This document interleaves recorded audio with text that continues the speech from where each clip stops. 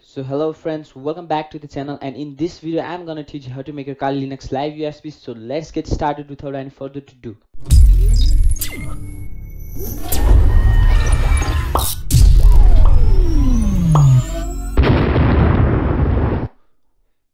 Okay, so first of all you need to open your browser. So here is my browser. Then we need to type Kali Linux. Then the first link of their official website then download Kali Linux. So it's loading. Okay so then you can see her at uh, third place. Uh, there is Kali Linux 64-bit live. So we need to copy this link address and we'll download with the help of internet download manager so that it will be faster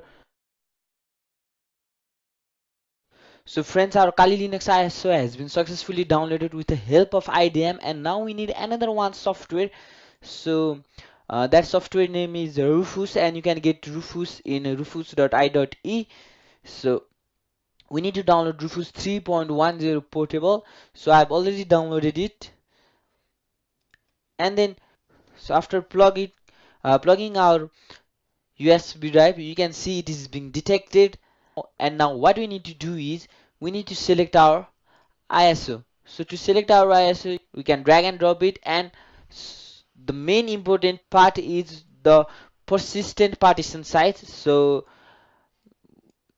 let me increase it to 7 GB okay 8 GB uh, as my pen drive is 16 GB I'll select 8 GB you need to select it ac according to your pen drive. So now you can start it and you can you need to do yes then you need to press ok and your uh, and your live USB process will be started. So now our printer has been plugged. Now let's start. The process is being on.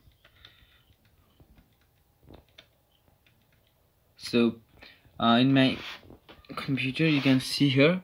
Okay. Uh, F9 for boot device option. Okay you can check for your and here is um, illustrator illustrator uh, we need to click that. Enter. And you can see here Kali is booting up. And we need to choose live USB persistence.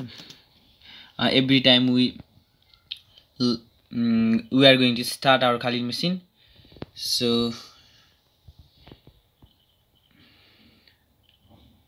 so now it's loading guys. So so you can see your Kali Linux booted up. I want a folder new folder okay create folder uh, test purpose. So create. So you can see here it's test. Now we will shut down down this computer and we'll again come back. So now we'll again go back to see uh, whether this is working or not.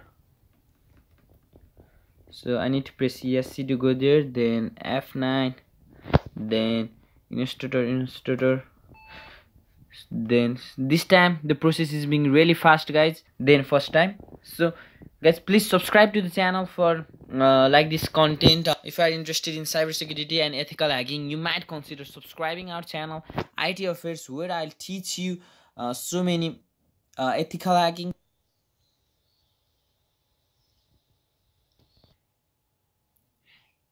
And guys you can see our folder test that we had made. So now here is your fully loaded um, USB pen drive that you can plug in in any laptop or computer and use Kali Linux and start hacking. So guys please subscribe to the channel and hit the bell icon for latest cybersecurity related videos. And as thank you for watching